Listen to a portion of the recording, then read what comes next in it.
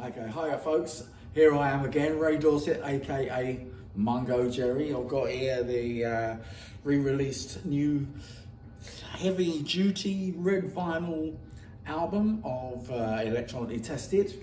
And I would also want to say thanks for, for voting for, uh, for the positions that we've got in the Heritage Chart. So we've got the 2024 BH 24, I should say, version of In the Summertime, which is entered the Heritage Chart as a breaker.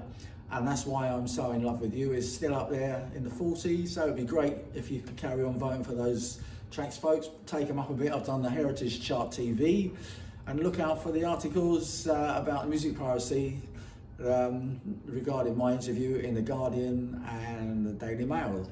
Which the Daily Mail one is not so big, but it's all interesting stuff, folks. So check it all out. Keep on voting. God bless. Have a lovely weekend. But where I am, it's pouring with rain. It's not exactly what you would call in the summertime. God bless.